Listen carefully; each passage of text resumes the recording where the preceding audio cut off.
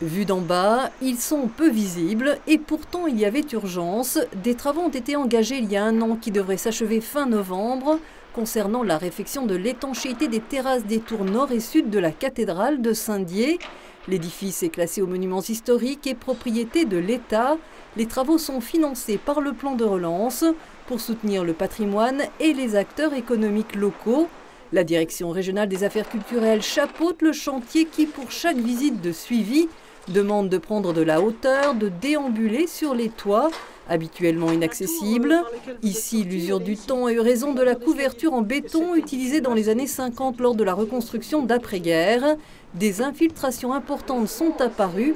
Les architectes ont cette fois-ci opté pour le cuivre.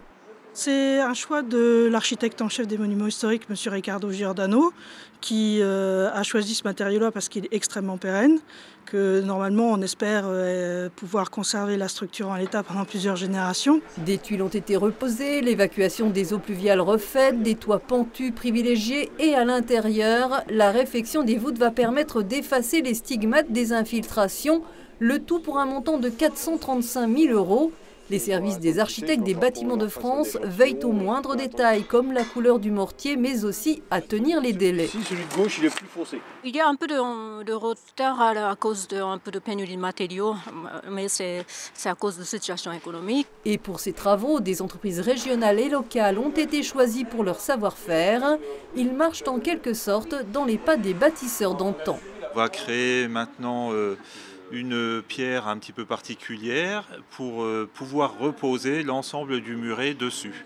Voilà. Comme les tailleurs de pierre des, cathédrales Mais nous sommes tailleurs de pierre. Ah bah c'est du travail quand même de prestige qui nécessite beaucoup de technicité et on est très fiers de l'avoir réalisé. Le curé, lui, est soulagé car si selon l'expression les voies du Seigneur sont impénétrables, en réalité il pleuvait parfois dans la cathédrale, le site le plus visité de la ville. Alors sûrement le plus visité ici à Saint-Dié, mais la cathédrale et l'église de l'évêque, donc c'est vraiment là que se vit la dimension spirituelle de la vie du diocèse. Et Saint-Dié vit à l'heure de la restauration de son patrimoine religieux. Juste à côté, l'église Notre-Dame de Galilée, exemple de l'art roman, est également envahie par les échafaudages. L'édifice est classé, l'État aura dépensé ici 644 000 euros pour refaire l'éclairage et les plafonds. Et sur les voûtes, les entreprises ont eu la surprise de découvrir l'ébauche de peintures médiévales. Il y a une décoratrice qui est venue euh, une pour voir le nombre de couches, de quand elle date et s'il y a du décor ou pas en dessous. Une visite en appelle une autre. Rendez-vous a été donné le lendemain par le ministère de la Culture pour évoquer, après les dégâts des eaux, le risque du feu dans ces églises aux charpentes en bois. Car après le traumatisme de l'incendie qui a dévasté Notre-Dame de Paris, l'État a en effet décidé de renforcer la sécurisation des cathédrales en France.